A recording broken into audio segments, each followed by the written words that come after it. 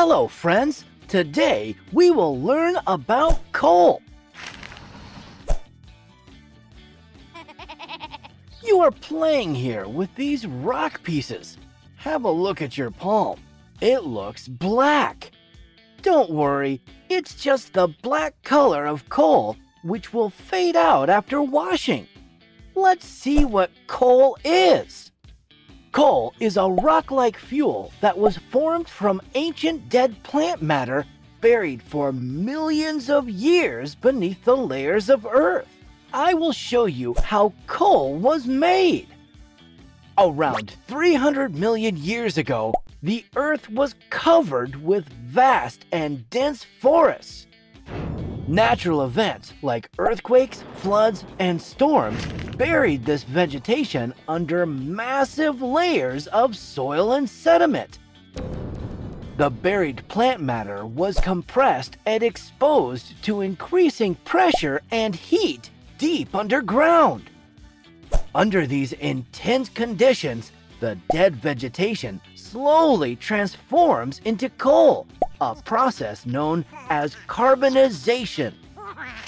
Coal is considered a fossil fuel because it is derived from the remains of ancient plants that lived millions of years ago. This coal looks a lot different from this one. Let's have a look at the main types of coal. Lignite. This is the lowest rank of coal, often called brown coal.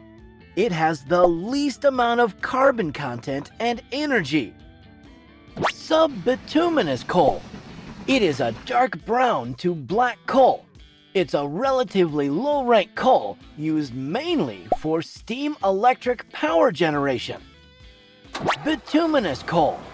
This black colored coal is a dense black sedimentary rock that was formed under high pressure and heat, making it rich in carbon and good for electricity and steel production.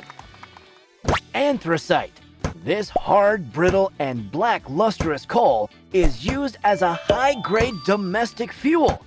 It contains a low percentage of volatile matter and a high percentage of fixed carbon. People do not have unlimited coal because it is a non-renewable resource, meaning it can't be made again quickly or easily.